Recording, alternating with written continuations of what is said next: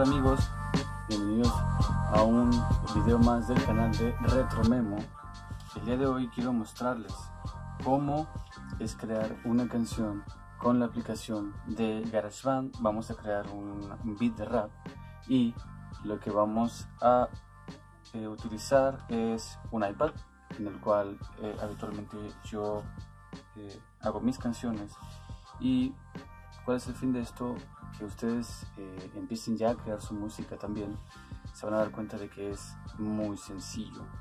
Entonces vamos aquí estoy en el escritorio de mi iPad entramos a GarageBand podemos ver que aquí no he grabado absolutamente nada. Tengo tres instrumentos que son los que voy a utilizar. Eh, antes de empezar con la grabación eh, vamos a fijarnos en estos aspectos que son muy importantes. Tempo de 85 eh, kbps por eh, minuto. Esto nos ofrece más bien esto va enfocado a que estamos en el género del rap y es la medida estándar que se utiliza en este género. Eh, el compás es 4 cuartos también es muy general y muy versátil. Eh, bueno la armadura estando mayor en eso no nos vamos a meter. Ok una vez visto esto, podemos ahora sí irnos a los instrumentos.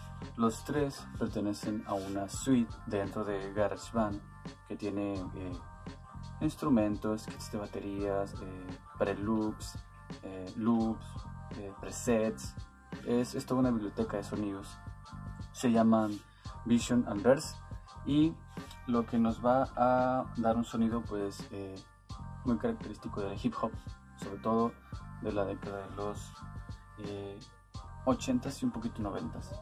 Entonces, eh, el primero es una drum machine, eh, se llama el kit particularmente Vintage Beat. Entonces suena pues de esta manera. Suena muy bien. Vamos entonces a grabar.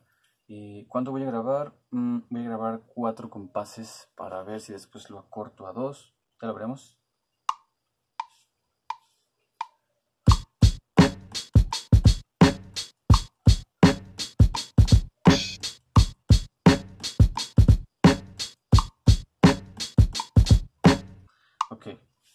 Par de errores eh, de dedo, errores de tiempo, supongo que muchos más, pero vamos a escucharlo y identificar cuáles son esos errores.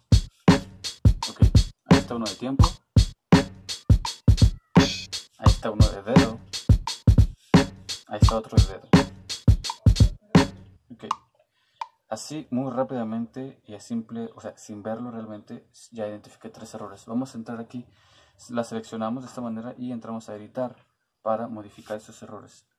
Este vamos a borrarlo porque fue un error mío y además le, hace, le hizo falta aquí un eh, hi-hat donde, bueno, me estoy dando cuenta de que prácticamente todos los hi-hat están mal. Entonces voy a seleccionarlos todos y los voy a eliminar.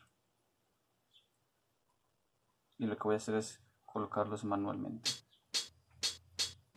Es algo un poquito más tardado, pero tampoco eh, te vas a pasar toda la vida haciéndolo. Bien. Ok.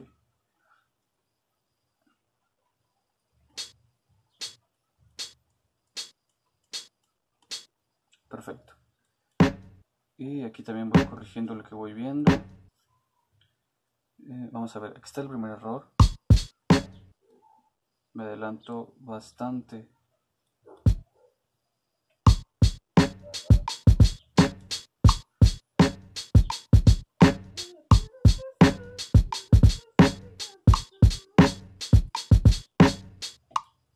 Uf, esto está demasiado adelantado. Lo que voy a hacer es entonces eh, quedarme con los dos mmm, compases.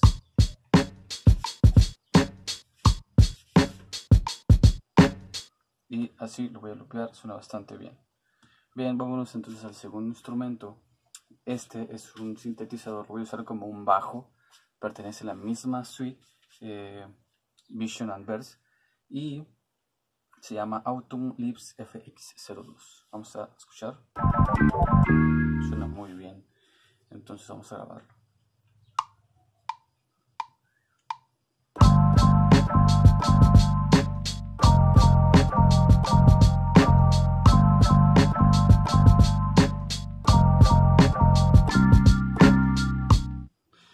Que hice fue grabar cuatro eh, compases y las notas que utilicé fueron eh, sol, sol, sol, sol, sol, fa, fa, fa, fa, fa y el otro eh, compás es sol, sol, sol, sol, fa, fa, fa igual y simplemente termino con un par de dos, dos, dos.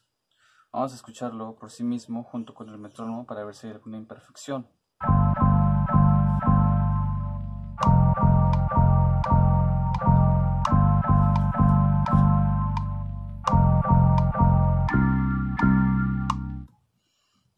Encontré una muy, muy sutil.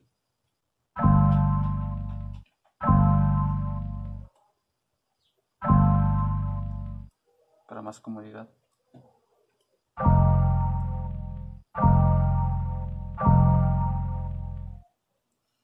Mm, estas me gustan como se escuchan así. A ver aquí.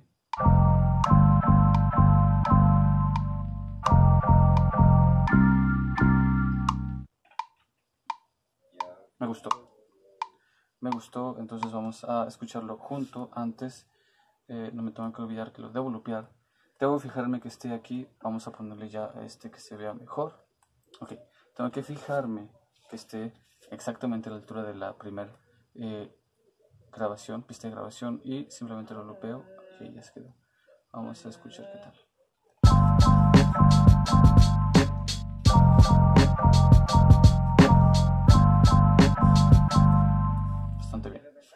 Bueno, el último es un sintetizador. Este lo voy a usar para eh, como un arreglo, hacer arreglos y eh, darle un poquito más de eh, apertura a la pista, que no solamente sea la batería y el bajo, que por sí solos, como ya se dieron cuenta, suenan muy bien. Esto lo que va a hacer es adornarlo. Vamos entonces. Las mismas notas para esto mismas notas. Vamos a aprender nuestro metrónomo, es importante siempre hacerlo.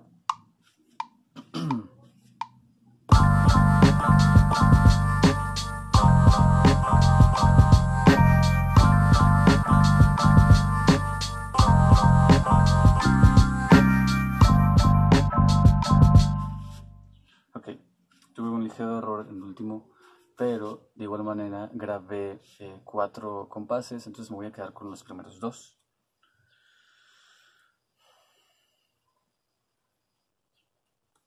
Vamos a escucharlos.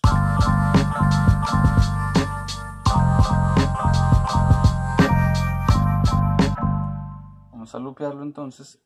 Eh, ¿Por qué en esto no me meto tanto los tiempos y que quede exactamente bien?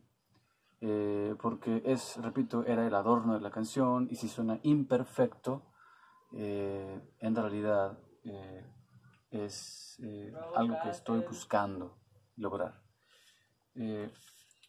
cuando nosotros, bueno, ahorita no tengo activada la opción de que mi sonido o lo que grabe sea auto, se automatice en la cuantificación. ¿Qué significa esto?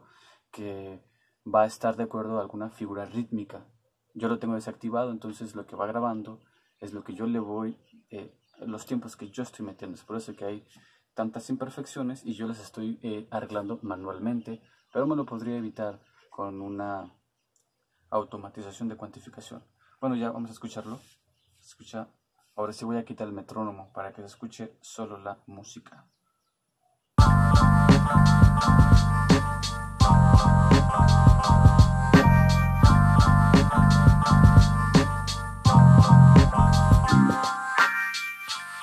Quieres jugar con el FX, ahí está.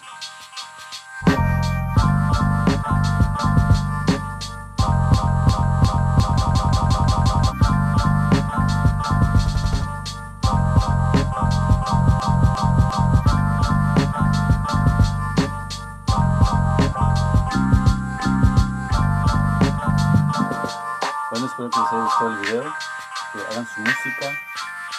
atrévanse, utilicen diferentes aplicaciones y pues adelante, empiecen.